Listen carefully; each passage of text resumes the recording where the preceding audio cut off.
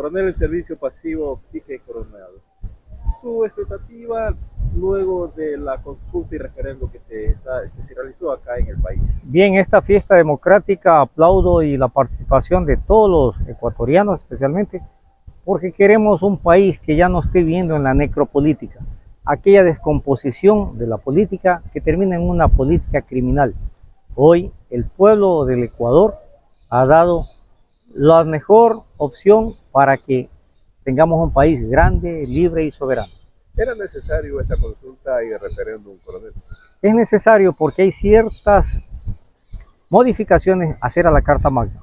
Entonces, para evitar la repercusión de la intromisión, porque se vive una guerra híbrida, donde hay la injerencia de factores externos de diferentes índoles que se entrometen en el manejo de la política ecuatoriana.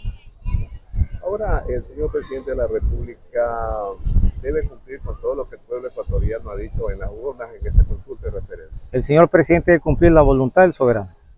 Y modificar, la, y, modificar y hacer las acciones de ley porque son mandatorias para poder vivir en paz, en armonía y tranquilidad, sobre todo de todos los ecuatorianos, para que esto nos permita tener un mejor desarrollo, progreso económico. Y esta paz y seguridad se ha logrado con el apoyo principalmente de Fuerzas Armadas que han logrado neutralizar a lo que ahora se considera grupos terroristas.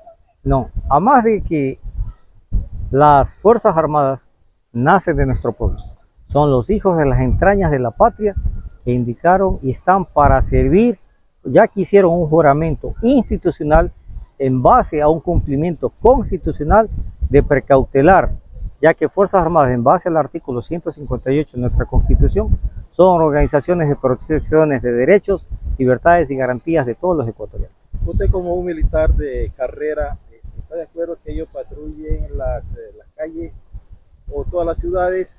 ¿Y qué hace falta? Al menos, ¿qué le hace falta a las Fuerzas Armadas para que hagan su trabajo bien? La participación del pueblo, porque no solamente es una apreciación o entorno militar, necesitamos de la participación de todo el pueblo. Si alguien sabe y conoce en su barrio, en su finca, en el campo, en las minas, hay gente que nos va a dañar la tranquilidad, está en la obligación de todos contribuir para hacer un país grande, libre y soberano.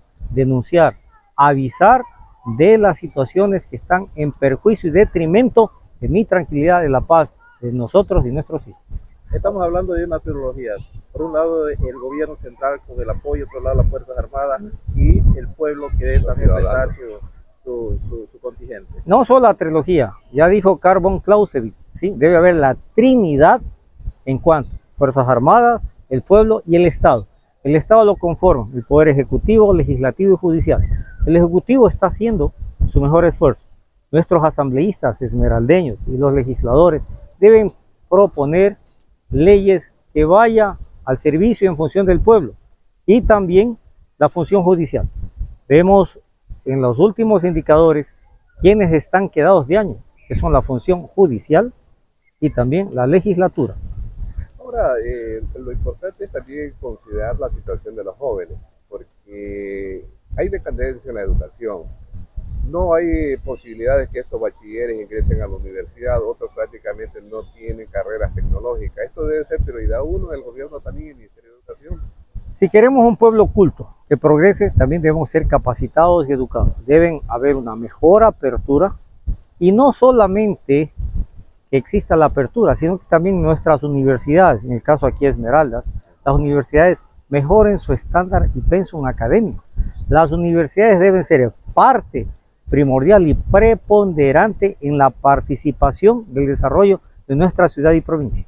Ahora, en la situación de los privados de libertad, también ya deben otros cambios como en otros países que los presos prácticamente trabajan para poderse mantener.